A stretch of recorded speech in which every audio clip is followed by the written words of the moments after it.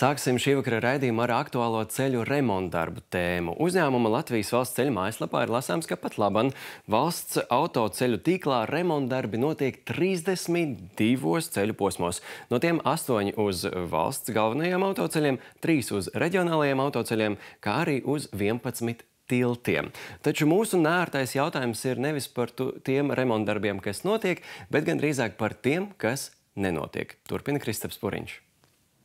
Es atrodos uz autoceļa P93. Tur atrodas Iecava, bet tur Jelgava. Raidījuma 4. studijas skatītājs vērsies pie mums ar jautājumu, kāpēc šo ceļa posmu, kas ir teicamā tehniskā stāvoklī, ir plānots atjaunot, bet ceļa posmu, kas ved uz zālīti, kur redzam, ka ir putekļu mākonis, grants, šķēmbas, nē.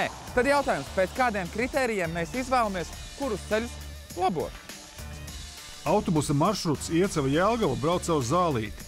Asfaltētie ceļa posmi vēl ir pavisam jauni, bet grāns ceļa posms briesmīgāks vairs nevar būt. Nesen Latvijas valsts ceļi izveidoja karti, kurai redzami ceļa posmi, kuri tiks laboti, un pamanīja, ka viens no posmiem ir asfalta posms no Iecavas uz Jēlgavu. Bet šim posmam nav nevainas. Kā tiek izvēlēti ceļi, kurus remontē? Daudzi asfaltētie galvenie un reģionālo ceļu posmi ir savesti kārtībā, ir rekonstruēti, remontēti, pārbūvēti. Uh, ar Eiropas Savienības uh, fondu līdzfinansējumu.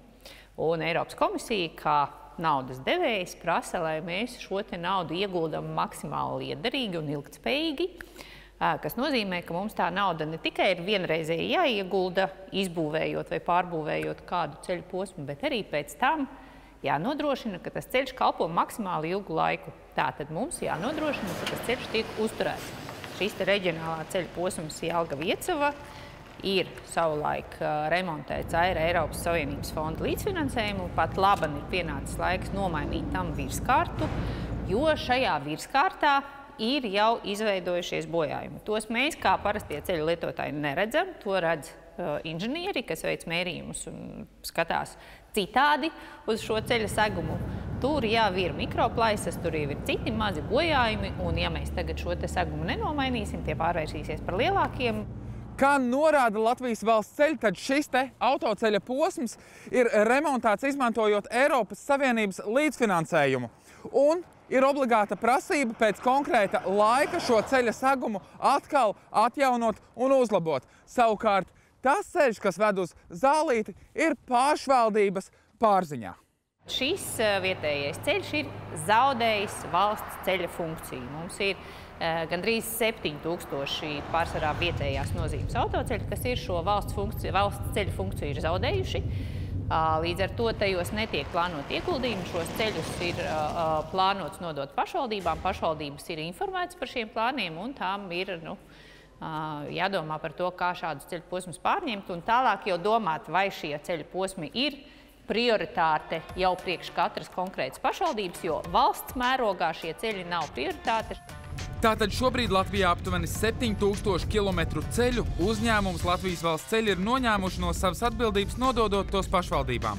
Tā tas ir noticis ar minēto grāns ceļu, taču pagaidām ne tas, nedz arī citi ceļi pašvaldību īpašumā nav pārņemti. Tādēļ jautājums, ja ir ceļi, kas zaudējuši valsts ceļu funkciju un pašvaldības tos arī neapsaimnieko, tad kurš atbild par to uzturēšanu un kurš lemj, vai tos asfaltēs?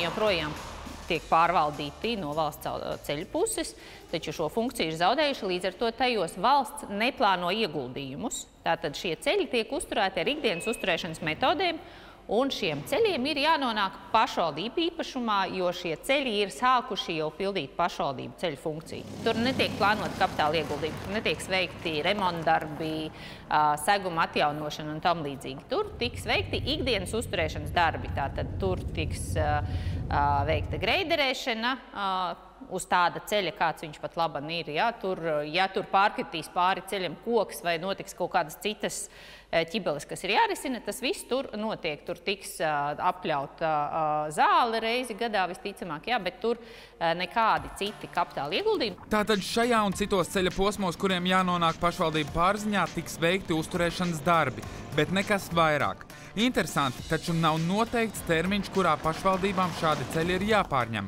Turklāt tas, ka pašvaldība pārņems ceļu, nebūtu nenozīmē, ka tur notiks asfaltēšanas darbi, jo katra pašvaldība izlems, cik prioritārs ir konkrētais ceļš un vai vispār budžetā ir nauda šādu darbu veikšanai. Pašvaldībām arī ir zināms tas, ka šie ceļi tiek nodoti uh, kopā ar finansējumu. Tātad tā pati naudas summa, kas pat laban tiek paredzēta šo ceļu uzturēšanai, šī naudas summa apmēram 1500 uh, eiro par kilometru gadā. Kopā ar šo naudas summu šie ceļi ir nododami pašvaldībām. Uh, tālāk ir viss atkarīgs no pašvaldībām.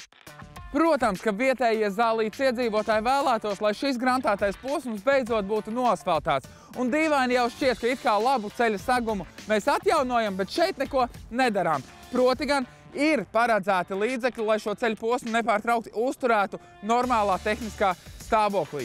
Bet tur atkal šoseju atjaunos, jo tā ir Eiropas Savienības līdzfinansējuma prasība. Kristaps Puriņš, Mārtiņš Avots, 4. studija.